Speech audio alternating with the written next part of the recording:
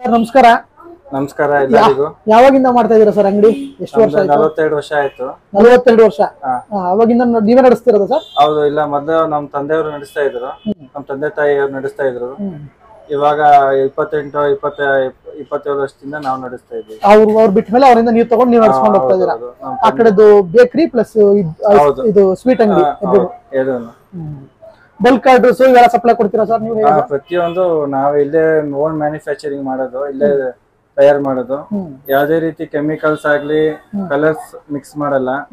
ಪ್ರತಿ ಒಂದು ಪ್ರತಿಯೊಂದು ನ್ಯಾಚುರಲ್ ಆಗಿ ಮಾಡಿ ನೀವು ಟೇಸ್ಟ್ ಮಾಡಿನೇ ನೆಕ್ಸ್ಟ್ ಮುಂದಕ್ಕೆ ಆರ್ಡರ್ ಕೊಡ್ಬೋದು. ನಾವು ಹ್ಯಾಂಡಿಕ್ರಾಫ್ಟ್ ಅಂಗಡಿ ನಡೆಸ್ತಿರೋದು ದಯವಿಟ್ಟು ಎಲ್ಲರಿಗೂ ಏನ್ ರಿಕ್ವೆಸ್ಟ್ ಅಂದ್ರೆ. ಎಲ್ಲಾರು ಚೆನ್ನಾಗಿರೋರು ಹೆಂಗೋ ಬದುಕ್ತಾರೆ. ಬದುಕುತ್ತಾರೆ. ಹ್ಮ್. ನಾವು ಹ್ಯಾಂಡಿಕ್ರಾಫ್ಟ್ ಯಾರು ಎಂಕರೇಜ್ ಮಾಡಲ್ಲ ಸಪೋರ್ಟ್ ಮಾಡಲ್ಲ.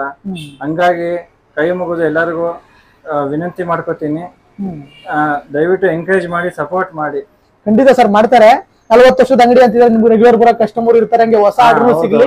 ನಿಮ್ ನಂಬರ್ ಅನ್ನ ಡಿಸ್ಕ್ರಿಪ್ಷನ್ ಅಲ್ಲಿ ಹಾಕ್ತೀನಿ ಸರ್. ಅಡ್ರೆಸ್ ಹೇಳಿ ಸರ್ ಬರೋರು ಎಷ್ಟು ಯಾವ ತರ ಈಸಿಯಾಗಿ ಬರ್ಬೇಕು? ನಮ್ಮ ಇದೆ ವೆಜಿಟೇಬಲ್ ಮಾರ್ಕೆಟ್ ಇದೆ ಫ್ರೂಟ್ಸ್ ಮಾರ್ಕೆಟ್ ಇದೆ ನಮ್ಮ ಶಾಪ್ ಮುಂದೆ ಸರ್ಕಲ್ ಅಲ್ಲಿ. ಹ್ಮ್.